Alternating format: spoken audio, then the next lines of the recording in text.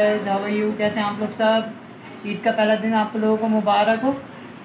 आपकी खिदमत में हाजिर हैं इज़न अली चैनल के साथ। ये इज़न अली हैं ये मेरे बड़े बेटे हैं और ये कासिम अली है। इज़न बोलो ईद मुबारक। ईद मुबारक ईद मुबारक। मानी भैया भी आए हुए हैं। इस टाइम घर पे काफ़ी रश है काफ़ी सारे लोग हमारे घर पे आए हुए हैं और मुख्तलिफ़ तरह के खाने बन रहे हैं।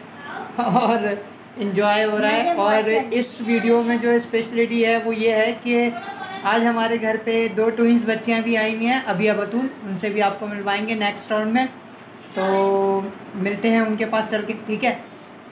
वालेकुम गाइस मिलिए अभिया से ये अभिया हैं और इन जैसी एक और हैं ट्विंस हैं इनकी बतूल। बतूल हाय कैसी हैं आप? हाय क्या खा रही हैं? लेस पापड़। वाह भाई वाह एंजॉय हो रहा है भाई वाह भाई वाह। भाई वाह भाई वाह।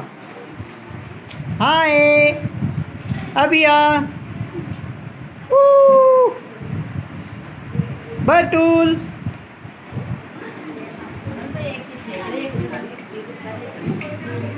अच्छा इस हाँ गाइस क्या हो रहा है? मज़े हो रहे हैं। और गायें देखी आप लोगों ने? अच्छी लगी गाय? हाँ, अच्छी अच्छी। अच्छा काशिप। हेलो क्या हो रहा है? मज़े हो रहे हैं। मज़े रहे हुसैन भी आए हुए हैं हमारे घर पे।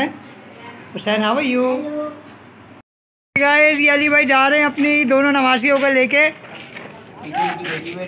पीछे इनकी बेटी बैठी है हुई है। माशाल्लाह। अली भाई हैं। अली भाई कैसी तबीयत है आपकी? ठीक ठाक है? ईद मुबारक खैर मुबारक। आपने गाय देखी? गाय पसंद आई आपको? माशाल्लाह। तो कल कुर्बानी होगी कल आप इंशाल्लाह फिर आएगा Riza how are you Riza hi guy को। ना। थोड़ा सा जो है उसको सेरिलैक्स खिलाएँ। अच्छा जी। तो मतलब वो फिर सेहतमंद हो जाएगी क्या? टाटा टाटा। बत्तो हम जा रहे हैं आस्ता आस्ता घूमने। अब हम हम अपने किचन में आ चुके हैं और बेगम से पूछते हैं क्या बन रहा है आज।